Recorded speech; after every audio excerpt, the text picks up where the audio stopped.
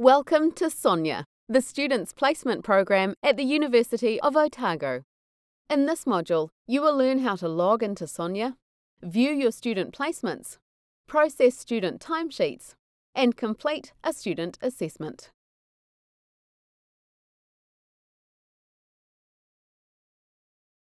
To access Sonia, visit placements.otago.ac.nz. Select which department placement page you would like to access. In this example, we will select School of Physical Education. You will need to log in at the top. First, select your role as Site. The University Sign-In button will be replaced with a username and password box. Enter your Sonia username and password and click Sign In.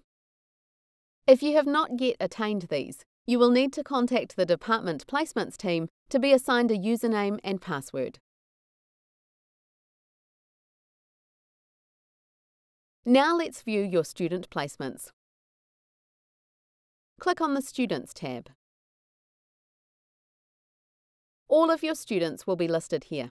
If you have no students showing, you may need to change the date range. Sonia defaults to today's date but you can select an earlier placement's hide date if needed.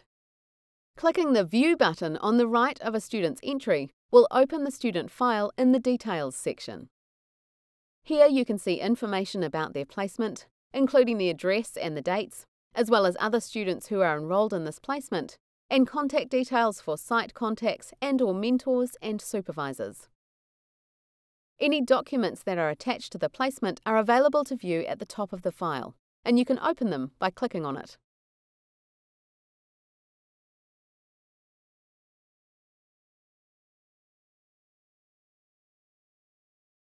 The Students button will show you further information about the student. The Timesheets button will present a summary of all timesheets submitted by the student for each of their placements.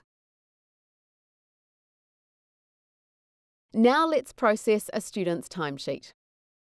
Click the Students tab to exit out of this student's file and return to the Students page.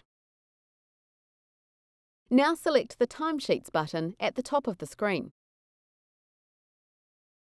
This will provide you with a list of all timesheets waiting to be processed.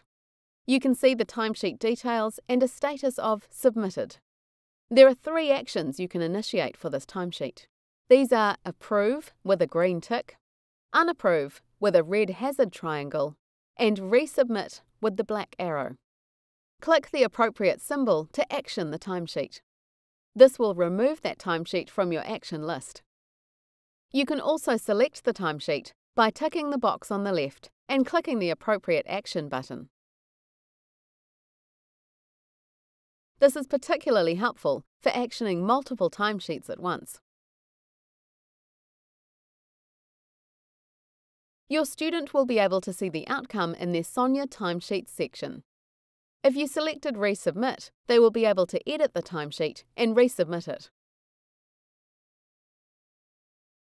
Finally, let's complete a student assessment. The Forms tab is where you will find any assessment reports or other documentation that needs to be completed. Some forms may only require a comment and submission, for example, a health and safety form.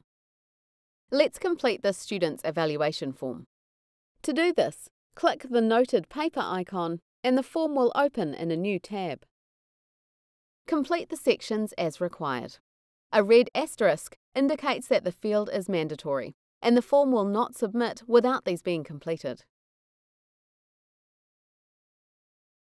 The Save Draft button will save your answers, enabling you to return and complete the form later. When you have completed the form, select Submit. Form successfully actioned will appear at the bottom of the page. You can then close the Forms browser tab.